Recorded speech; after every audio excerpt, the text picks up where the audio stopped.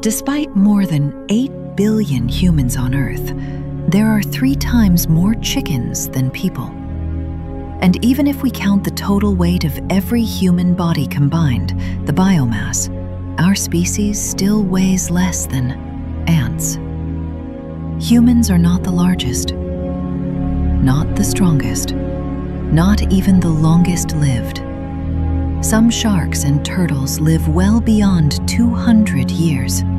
Corals and sponges survive for thousands, and certain jellyfish can reverse aging itself, restarting the cycle of life endlessly.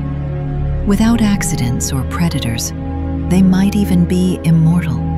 Compared to that, humans are shockingly fragile.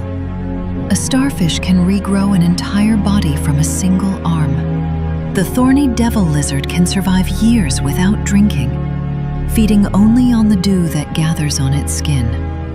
And then there's the tardigrade. This tiny creature makes us look delicate, pathetic even. It can endure toxic, salty environments for decades. Temperatures hotter than 150 degrees Celsius or colder than minus 270 degrees Celsius, even vacuum of space. Humans, by comparison, can withstand only a narrow range of temperatures. Our skin is thin, our organs vulnerable, our physiology fragile. And yet, somehow, against all odds, we survived.